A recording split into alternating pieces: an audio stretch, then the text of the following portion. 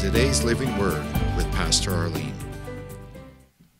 Thank you for joining us again this week. Last week we were looking at the power of words, heat seeking missiles, and that there is such a thing as a law of the Spirit of life in Christ Jesus that made us free from the law of sin and death. We are going to continue looking at words, tongue, and we're going to start this week by looking at James chapter 3, verse uh, James 3, starting with verse 2.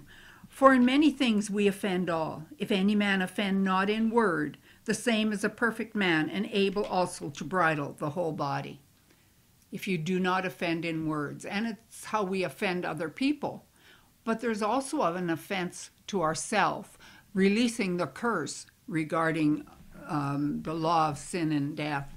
We would release that with words.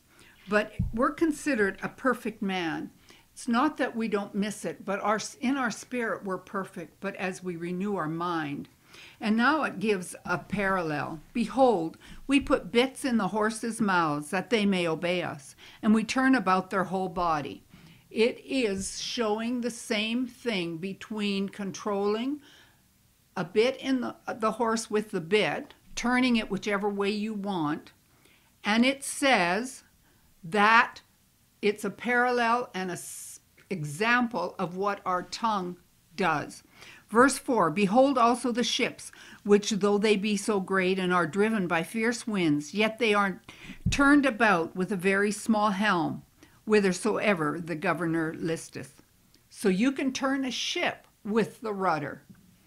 Verse 5 Even so, the tongue is a little member now remember, it's a great big horse. You put a bit in its mouth, it's small. A big ship, the rudder's small. Your tongue is a little member, and it boasts great things. Behold, how great a matter a little fire kindles.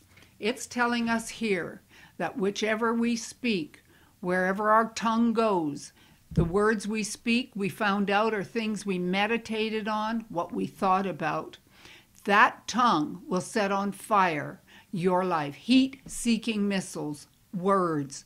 What are you speaking today? What are you allowing to control your life today? Are you building your life on the foundation of God's Word? Let's continue this tomorrow. Thank you for joining us.